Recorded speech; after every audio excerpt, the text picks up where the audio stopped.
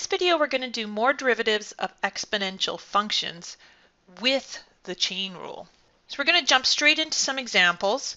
What is the derivative of f of x is equal to e to the power of 5x plus 3? Now, in our previous video on doing the derivatives of exponential functions, we were given this rule. If y is equal to e to the power of x, then its derivative is also going to be equal to e to the power of x. But here we have a function in a different form, e to the power of 5x plus 3.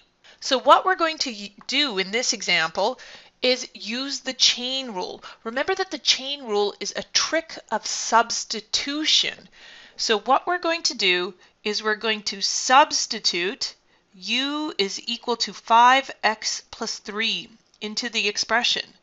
And then we're going to get f of u is equal to e to the power of u.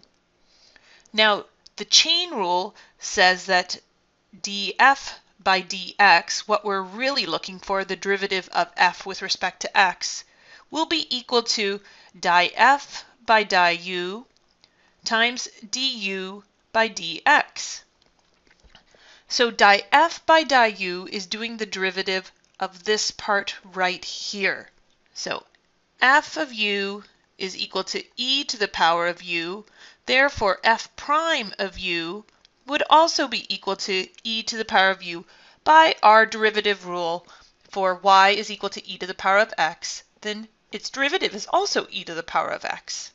Now the second part of the chain rule is doing du by dx. Now if u is equal to 5x plus 3, then u prime is going to be equal to 5. The derivative of 5x is 5, and the derivative of 3 is 0. So putting this all together, I get my df by du, this part right here, e to the power of u, times the derivative du by dx. It's 5. And I get 5 times e to the power of... Now we need to substitute our expression for u back in. So this is going to be 5x plus 3. So f prime of x is equal to 5 times e to the power of 5x plus 3. Now something that's neat about employing the chain rule when we have exponential functions is that we're always going to have e to the power of u subbing in for this exponent. And the derivative of e to the power of u is always going to be e to the power of u. So what we do is we write a generalized form of this chain rule. So if y is equal to e to some function of x, in this case it was 5x plus 3, then the derivative becomes e to the power of that function of x times du by dx. This is the df by du portion it's always going to be e to the power of u. So we can rewrite this as a general form as shown here, and this is what's going to be shown in your formula sheet. It is the chain rule, but you don't always have to go through the tedious process of thinking through it with all the steps of the chain rule. You can simply take your original derivative times the derivative of whatever is in the exponent. Let's illustrate the ease of this with another example. Example 2. What is the derivative of f of x is equal to 3x squared plus 10? So we have our original exponential rule, but this is not going to apply because we have a more complicated function of x as our exponent. It's not just e to the power of x, it's e to the power of 3x squared plus 10.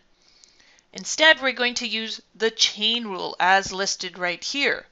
So our derivative, f prime of x, is going to be equal to, first I write e to the power of ux as it's originally provided. So this is simply e to the power of 3x squared plus 10, our original function, times, now this second part here, du by dx, is simply the derivative of this exponent. We call this exponent the u term. So it's the derivative of 3x squared plus 10 So the derivative of 3x squared is going to be 6x, and the derivative of 10 is 0, so I'm just going to leave it as 6x. So I get my final answer is f prime of x is equal to 6x e to the power of 3x squared plus 10. And using the chain rule can really be brought to just a couple of steps. Now I have one more example with another twist. Now this is our last example. What is the derivative of f of x is equal to 15 to the power of x? So our derivative rule is for y is equal to e to the power of x. But this is 15 to the power of x, so this is not going to work. So what do we need to do? Well, we're going to have to manipulate this to get it in the form of e to the power of x. And it's going to be through some logarithms in our exponent.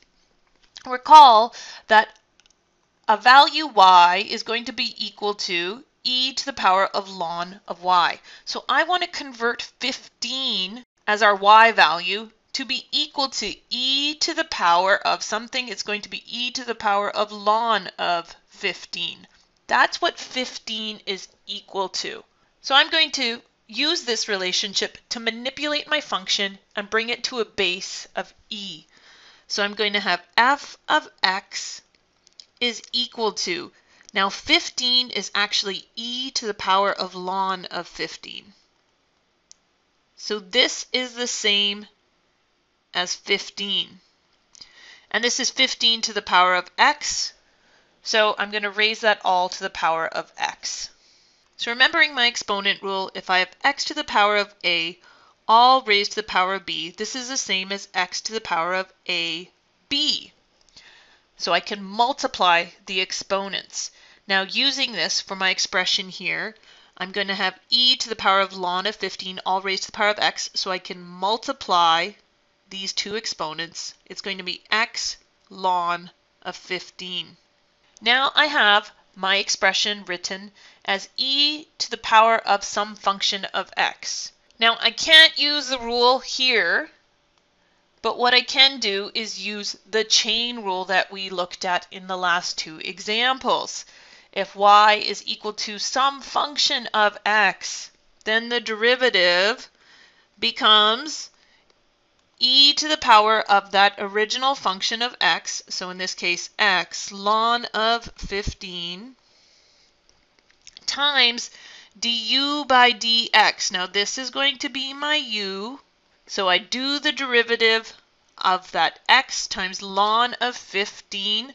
Remember that ln of 15 is a constant, so that just gets left alone, times the derivative of x. The derivative of x is simply 1. So this gives me f prime of x is equal to ln of 15 all times e to the power of x ln of 15. And that is my final answer. Changing the base using a logarithm. A little bit tricky, but nothing that we can't manage with enough practice.